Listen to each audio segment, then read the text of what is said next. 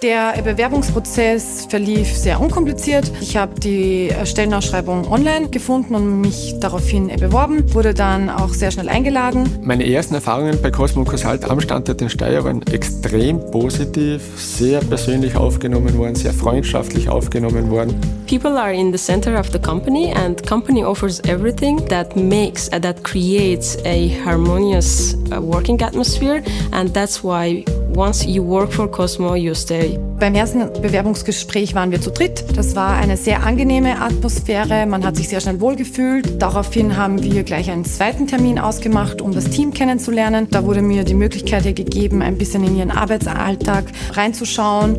Und daraufhin habe ich mich dann für die Cosmo und die Cosmo für mich entschieden. Ich kann mich noch gut an meinen ersten Arbeitstag in Steyr erinnern, weil eben die Aufnahme der Kollegen so herzlich und so persönlich war und ich bin am ersten Tag nach Hause gekommen mit einem großen Lächeln im Gesicht. Da habe ich gewusst, dass ich hier gern arbeiten werde. Das Coole ist, wenn man bei Cosmo startet, dass einem ein Buddy zugewiesen wird. Der ist die ganze Zeit an deiner Seite, wenn du Fragen hast oder neue Kollegen kennenlernen möchtest. Der führt dich durchs ganze Unternehmen, hilft dir, die Prozesse zu verstehen, die Unternehmenskultur. Wenn man bei Cosmo Consult arbeiten möchte, sollte man Teamfähigkeit mitbringen, Kommunikationsfähigkeit. If you are passionate about technologies and you always learn and you always keep up with technologies, then Cosmo is the right place for you.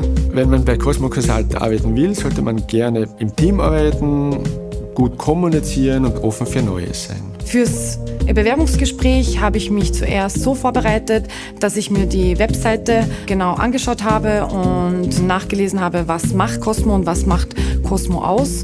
My advice for future candidates, just be open, be curious. Cosmo loves that. Vor allem sollte man sich für neue Technologien interessieren und Innovation und am allerwichtigsten ist es einfach authentisch zu bleiben.